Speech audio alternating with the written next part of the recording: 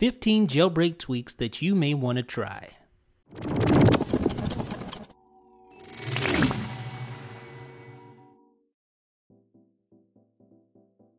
Anisette is a jailbreak tweak for accessing favorite apps and recent apps from a handy sidebar on your iPhone.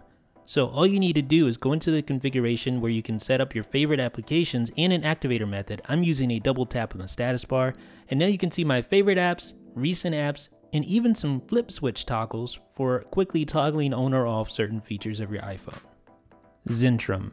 Zentrum is actually really interesting. When you invoke it by using a double press on the home button, you can see your app switcher here, which has these app switcher card previews, and that's really nice. You can also swipe up or swipe down to kill those applications there. And if you swipe over to the left side, you'll see the home screen card. You can just tap on that to get back to your home screen. And if you swipe over once more, you can access your music control. Swipe over again, your control center toggles. Now, the really cool thing about this is that it integrates another app search panel at the top. So you can actually launch apps from the top panel and use the search box to actually drill down and filter on specific apps. List Launcher 9 allows you to quickly access a list of all of your applications on your device right from the Spotlight menu. And then you can use the little slider here to slide down in alphabetical order and access the apps that you're looking for. So if I'm looking for Twitter, I obviously want to slide to the T's. And once I find the app that I want to launch, I just tap the app to launch the app. Treadmill. When you think about how much we swipe on our devices, it's actually kind of mind blowing. And that's sort of the premise behind Treadmill. It's from Ryan Petrich. And basically, it calculates how many pixels you scroll. And then right there on the fly, it actually converts that number of pixels into something tangible, something we can relate to, like yards. So you can really kind of understand how much you're actually scrolling on your iPhone using this tweak. It's pretty cool. It's called Treadmill. Gravitation is one of those really cool tweaks that doesn't do anything functional that improves like the iOS user experience, but it's actually just a really cool thing to check out and show off to your friends. It basically adds gravity to your iOS home screen and you can turn your iPhone around and watch the icons fall all around the screen just like that. And just by pressing the home button, you can make gravity go away. Time Alarm is an excellent tweak. By double tapping the clock on your lock screen, you invoke the Time Alarm interface, and then you can add a new alarm. And it's so easy because it has a little clock there. You just drag your finger to the hour that you want to set, and once that's set, you drag your finger to the minute that you want to set. You can select AM or PM, and then you can just add your alarm right there on the fly, right from the convenience of your lock screen. The nice thing about this is that you can always go back and edit your alarms right from the lock screen as well. So I'm going to go ahead and set this one right here. So I think I got it set. All right. And now just invoke the time alarm interface again. Of course, I can swipe on an alarm to edit or delete that alarm can swipe on this to edit, see the same edit interface, or I can toggle the alarm on or off right from the lock screen. Awesome tweak.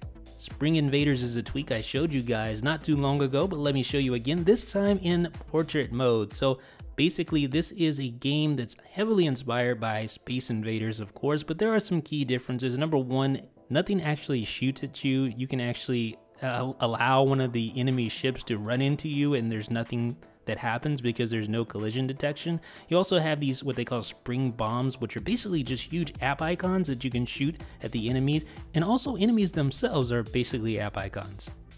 Flame is a jailbreak tweak that's all about modifying the look and feel of Cydia. So you can go in, you can change the default page that opens when you launch Cydia, you can enable pull to refresh, you can do things like hold to copy for repos, you can share packages, you can do all sorts of things, change the status bar look, use a dark keyboard, remove button border, all sorts of little tinkering things you can do to change the look and feel of Cydia. So let's go in, let me just show you some of the features that I've enabled courtesy of Flame. So you see right now it opened directly to the changes tab. I also have this little share button that I can use to share packages and stuff like that. I can go into the sources and I can tap and hold and copy a source, etc.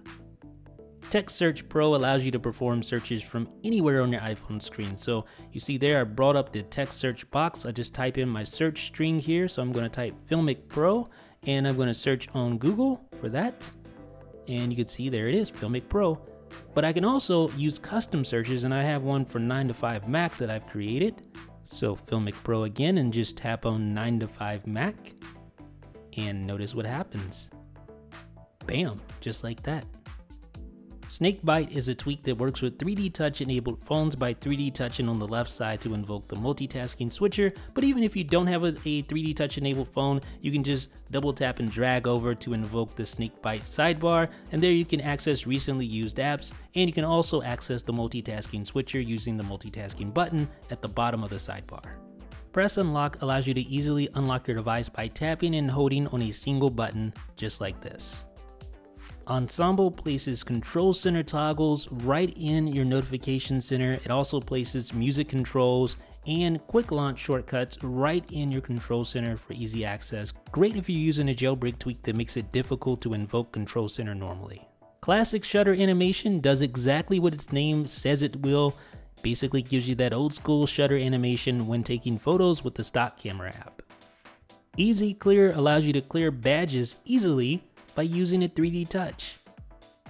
Just like this, clear notifications, and we're done.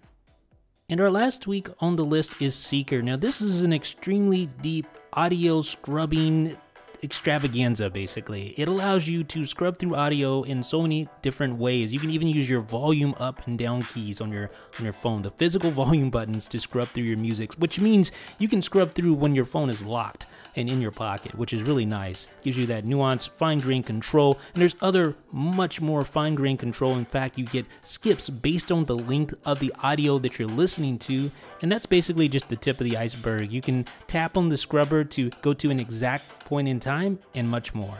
Folks, let me know what you think in the comment section. This is Jeff with 9 to 5 Mac.